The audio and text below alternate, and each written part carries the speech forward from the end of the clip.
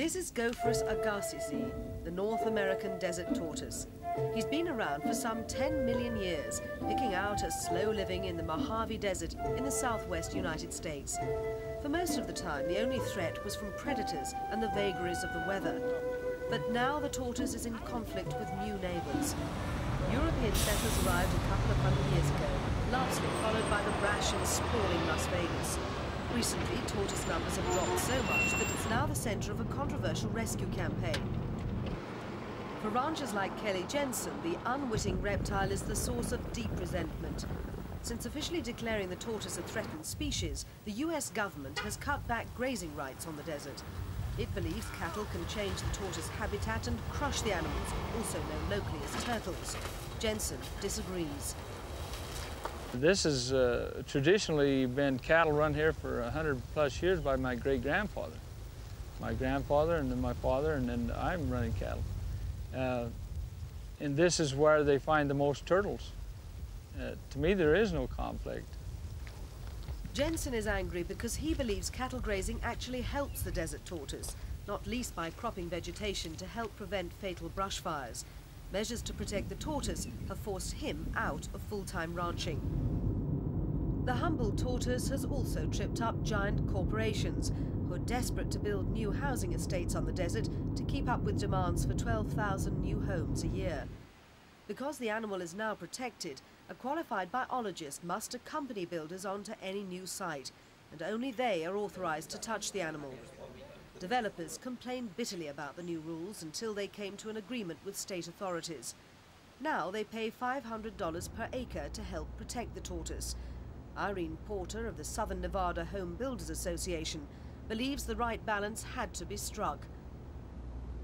Everybody has to give something in this process.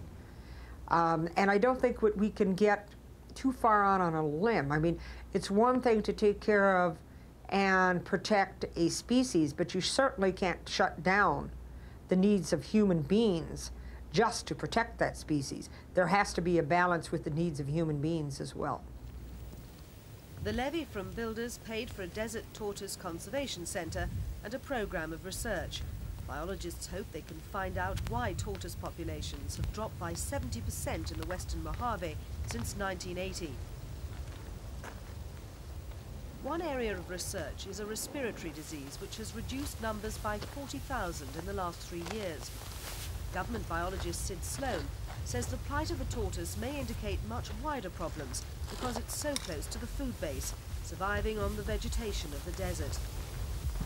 I think the desert tortoise is a barometer of the, of the health of the desert ecosystem. And if we're losing the desert tortoise, it tells us something else is wrong out there. And so I don't look at it so much as an emotional thing. I don't have an emotional tie to tortoises themselves. Yeah, I'm just looking at the, the health of the ecosystem.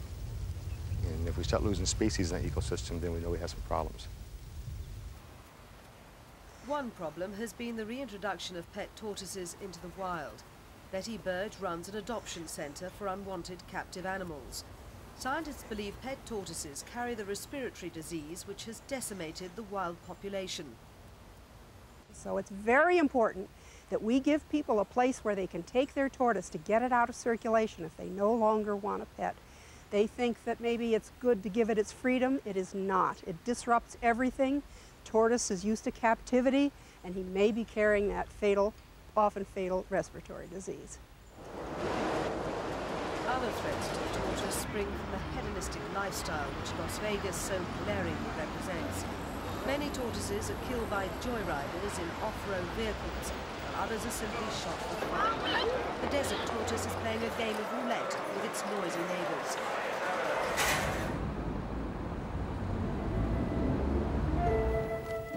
The demise of the desert tortoise may result from a combination of problems which form a deadly cocktail.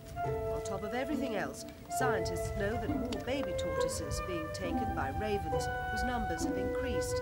This may be a natural fluctuation in species which will balance again in time.